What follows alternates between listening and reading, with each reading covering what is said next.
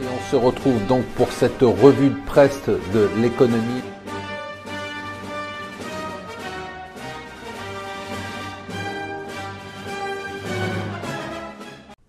Bonjour et bienvenue sur mon financier pour la revue de presse de l'écho. Nous sommes le mardi 26 juillet et aujourd'hui il faut sourire. Oui, à partir de maintenant, ce qui est un peu paradoxal puisque c'est maintenant que vous partez en vacances.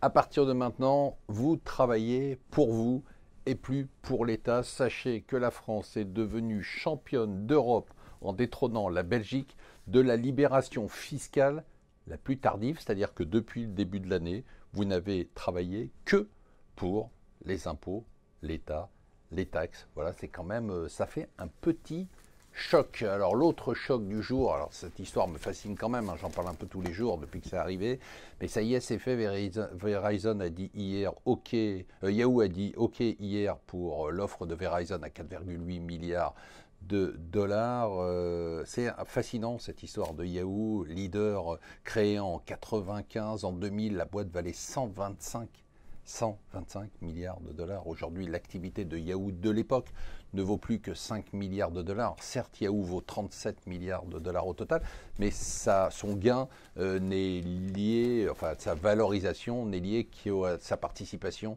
dans Alibaba et dans euh, Yahoo euh, Japon. Voilà, c'est quand même assez intéressant et assez étonnant, un vrai business case. Ce qui est intéressant aussi, c'est étonnant de voir ça en première phase du Financial Times. On a plutôt l'impression de trouver ça dans le Parisien. C'est le concours de taille du monde figurez-vous que les hommes les plus hauts, les plus grands du monde sont en Hollande, euh, les femmes les plus grandes du monde sont en Lettonie. Euh, si vous voulez, vous êtes petit et que vous voulez aller draguer, allez au Guatemala. Les femmes font 1,9 1m49 euh, de taille en moyenne.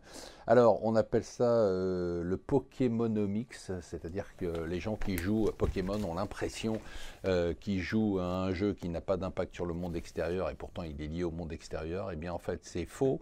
Ils ne savent pas qu'ils jouent à la bourse. Hier, le patron de Nintendo a dit Attends, arrêtez de vous exciter. Il faut dire que l'action a pris quand même 200% en deux semaines.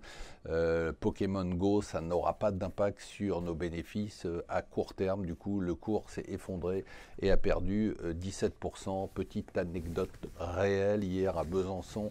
Un garçon de 22 ans qui jouait à Pokémon Go s'est pris un mur. Il n'a rien, rassurez-vous.